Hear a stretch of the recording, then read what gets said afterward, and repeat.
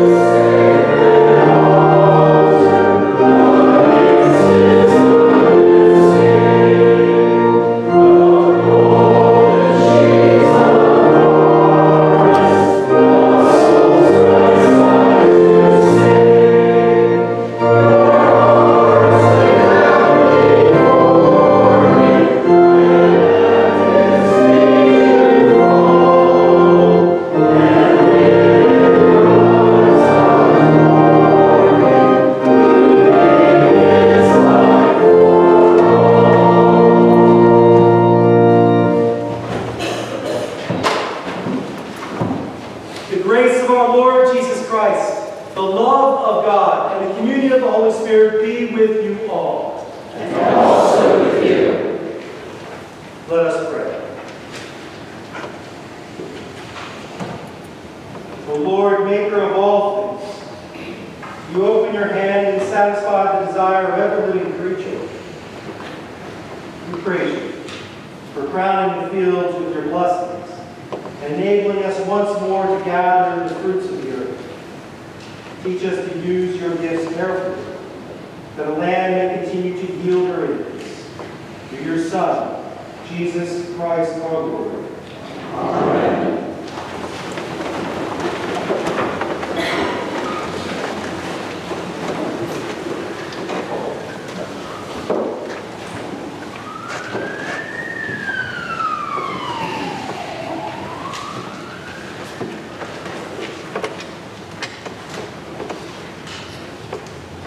The first reading this morning is taken from Deuteronomy chapter 26, beginning with the first verse.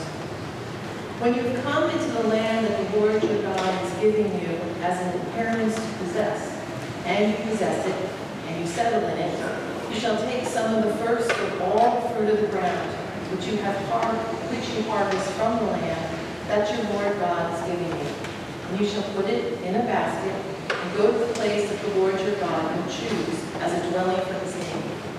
You shall go to the priest who is in office at that time and say to him, Today I declare to the Lord your God that I have come into the land that the Lord swore to our ancestors to give us. When the priest takes the basket from your hand and sets it down before the altar of the Lord your God, you shall make resp- this response before the Lord your God. A wandering Aramean was my ancestor. He went down into Egypt and lived there as an alien, few in number, and there he became a great nation, mighty and populous.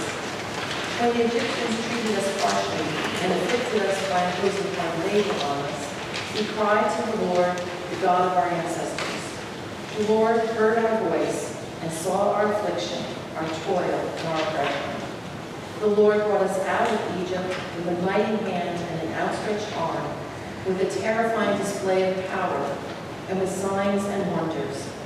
And he brought us into this place and gave us this land, a land flowing with milk and honey. So now I bring first the fruit of the ground that you, O Lord, have given me. You shall set it down before the Lord your God, and bow down before the Lord your God. Then you, together with the Levites and the aliens who reside among you, shall celebrate with all the bounty that the Lord your God has given to you and to your house. The word of the Lord. Thanks be to God. Let us read responsibly Psalm 65. You are to be praised, O God, in Zion. To you shall vows be performed in Jerusalem. To you at every prayer shall all flesh come, because of their transgressions. Our sins are stronger than we are, but you will not blot them out. Have your way whom you choose, and draw to your works to dwell there. They will be satisfied by the beauty of your house, by the holiness of your temple. Awesome things will you show us in your righteousness, O God of our salvation. O hope of all the ends of the earth and of the seas that are far away. You may cast mountains by your power, they are burdened out of might. You still the roaring of the seas, the roaring of the waves, and the clamor of the peoples. Those who dwell in the ends of the earth will tremble at your marvelous signs. You made the dawn and the dusk to sing for joy. You visit the earth and water it abundantly. You make it very plenteous. The river of God is full of water.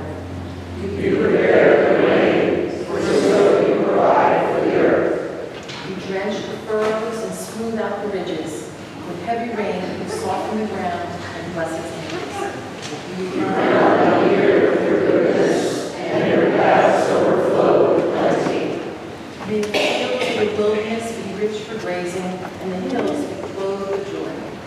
May the meadows cover themselves with flocks, and the valleys clothe themselves with grain. Let them shout for joy and sing. The second reading is from 2 Corinthians chapter 9, beginning with the sixth verse. The point is this, the one who sows sparingly will also reap sparingly, and the one who sow- sows bountifully will also reap bountifully. Each of you must give as you have made up your mind, not reluctantly or under compulsion, for God loves a cheerful giver. And God is able to provide you with every blessing in abundance, so that by always having enough of everything, you may share abundantly in every good work. As it is written, He scatters abroad, He gives to the poor, His righteousness endures forever. He who supplies seed to the sower and bread for food will supply and multiply your seed for sowing and increase the harvest of your righteousness. You will be enriched in every way for your great generosity, which will produce thanksgiving to God through us. For the rendering of this ministry not only supplies the needs of the saints, but also overflows with many thanksgivings to God. Through the testing of this ministry, you glorify God by your obedience to the confession of the gospel of Christ and by the generosity of your sharing with them and with all others, while they long for you and pray for you because of the surpassing grace of God that he has given you. Thanks be to God for his indescribable gift. The word of the Lord.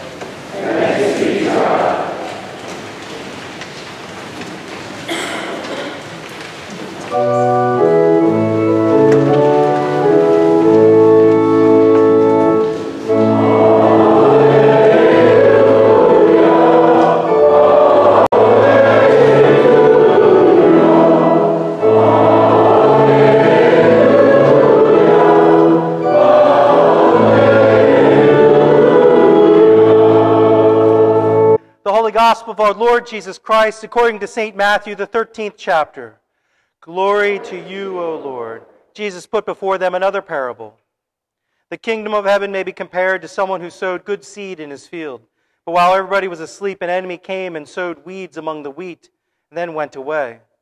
So when the plants came up and bore grain, then the weeds appeared as well. And the slaves of the householder came and said to him, Master, did you not sow good seed in your field? Where then did these weeds come from? He answered, An enemy has done this. The slave said to him, Then do you want us to go and gather them? But he replied, No, for in gathering the weeds you would uproot the wheat along with them. Let both of them grow together until the harvest. And at harvest time I will tell the reapers, Collect the weeds first and bind them in bundles to be burned, but gather the wheat into my barn. Then he left the crowds and went into the house. And his disciples approached him, saying, Explain to us the parable of the weeds of the field. Jesus answered, The one who sows the good seed is the Son of Man. The field is the world, and the good seed are the children of the kingdom. The weeds are the children of the evil one, and the enemy who sowed them is the devil. The harvest is the end of the age, and the reapers are angels. Just as the weeds are collected and burned up with fire, so will it be at the end of the age. The Son of Man will send his angels, and they will collect out of his kingdom all causes of sin and all evildoers. And they will throw them into the furnace of fire, where there will be weeping and gnashing of teeth. Then the righteous will shine like the sun in the kingdom of their Father. Let anyone with ears listen. The gospel of the Lord. Praise to you, O Christ. Please be seated.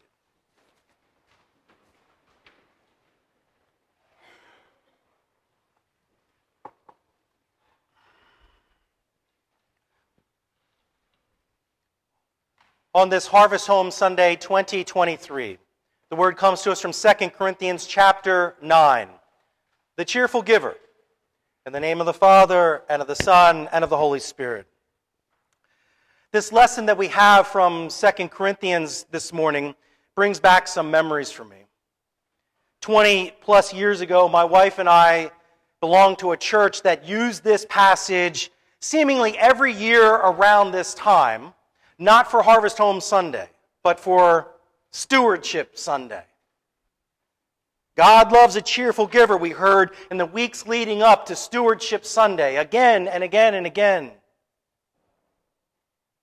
Then, on the big Stewardship Sunday, we heard a sermon on the obligations to be cheerful givers. Now, a lot of you know me pretty well now. I, I can be kind of a cranky guy. So I wasn't always cheerful at my giving at this church. I can be cranky. So after the sermon, during this service, Stewardship Sunday is this big deal. So after the sermon, um, But still, during the service, we're all invited then to go down into the church basement where all the tables were kind of lined up and, and they were tablecloths, and we sat down there, and there were cards in front of us. And we were urged to consider how much we were going to give to the church in the year ahead. We were supposed to talk among each other, amongst ourselves. My wife and I are, are, can be introverts in that situation where we're a little uncomfortable. And then the moment of truth came. And we were all instructed to fill out our cards with a number about how much we we're going to give that year. And remember, by the way, God loves a cheerful giver. At this point, when we're filling out the card, I remember looking over at my wife, and we were anything but cheerful givers in that moment. We were more annoyed givers. We were then instructed to fill out our cards and then take the cards back up into the sanctuary where the service then would continue, and we would lay our cards at the foot of the altar. It's strange in retrospect in thinking about that because that church never had any kind of liturgy or ritual. But man, on stewardship, stewardship Sunday, we were parading around all over the church. It was a big deal.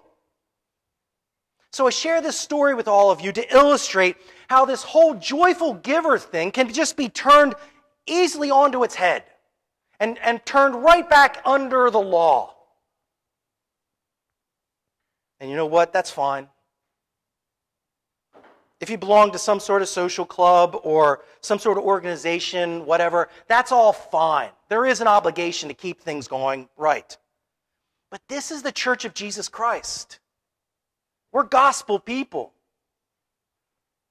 So let's get into this letter that we have very briefly from St. Paul as he writes to the church in Corinth in order to help us understand what being a cheerful giver is all about. Now, the context for this passage in 2 Corinthians is Paul is encouraging the young church in Corinth to give to its sister churches in Jerusalem that's kind of the, the main center of things. And they're to give to the church in Jerusalem in order to support the poor and to encourage and to provide resources for the preaching of the gospel there in and around Jerusalem. After all, as St. Paul will write to the church in Corinth, we are all one body in Christ. The head of the church, as he would write to the Ephesians, is of course Jesus. Jesus who gave himself up for the church. The Pope didn't do that. Certainly no bishops have done that. No, it's Jesus who's the head of the church. Because here's the thing this is a downward action of God for our salvation. It's not two arrows. It's not God coming down to us and then us meeting the arrow and going up. It's not God giving us mostly most of the stuff and us finishing it off. No. This is a downward action of God for our salvation. This is the ultimate giving. You know, when you give a gift, there's no strings attached, it's just handed over. So St. Paul writes early in 2 Corinthians, for our sake, for all of us in the church, for our sake, God made Jesus to be sin, who knew no sin, so that in him we might become the righteousness of God. Jesus becomes sin for us. This is a true picture of giving and love. God in the flesh for us. God in the flesh taking our sins. St. John will echo this in perhaps the most well known biblical passages in all of the Bible. For God so loved the world that he gave his only begotten Son. God came to us in the flesh in order to take the sins of the world into his flesh. And that world, that's just not some nebulous thing. That's you. That's me. Jesus takes your sins. They're nailed into his flesh, as Peter will write. They were pressed down upon his forehead, they pierced his side. The five wounds of Jesus. This is God giving to us. Now, what does God give to you in a most general way? Well, of course, it's first article of the creed stuff daily bread, life, friends, family, spouse, home, all of that, and more. All that you have is given to you by God. But there's the thing God doesn't just stop at that. God doesn't just stop with full bellies. Instead, God continues to give and give and give. In Jesus Christ, the crucified and risen one, God gives to you His righteousness, His holiness, His justification, His absolution, His forgiveness. Daily, God gives this to us again and again. It's too good to be true. This is why we sing Amazing Grace. Maybe for maybe for other people we might say it's, it's just too good to be true. Maybe all of this stuff that God gives to us. Most of all salvation. Maybe that's for other people, but but my sins are too many, we might say. I am beyond the scope of God's giving of salvation. I'm that bad off. Maybe you say that. And the answer is no, sir. No, ma'am. You are not beyond that. All of this is yours. And all of that grace and mercy and love of God was poured over you in your baptism. Is anyone in Christ? St. Paul will write. He writes that to you. He writes that to the church in Corinth 2,000 years ago. If anyone is in Christ, he is a new creation. The old has passed away, the new has come.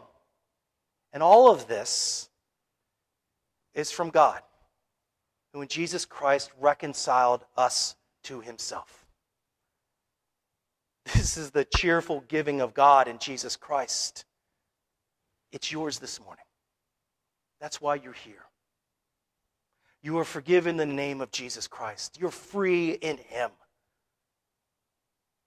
The law, we say, until Christ. Now in Christ, you are free to be God's man and God's woman. Martin Luther used a term for this. It's a Latin term to describe what happens next to the forgiven and free Christian. The word is this hilaritas. I, I, over the last six months, I've given you a lot of Latin words. I, I don't know why that is. I'm trying to improve your party skills. Okay, so when you're out, talk to your friends.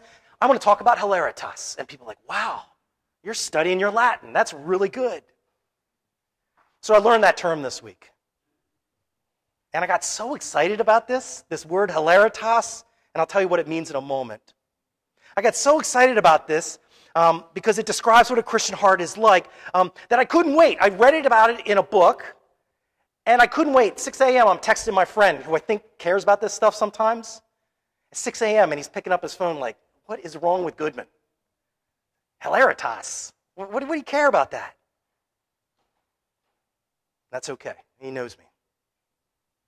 Hilaritas, eh, the root word in the English, it's the root word in the English for hilarity, right?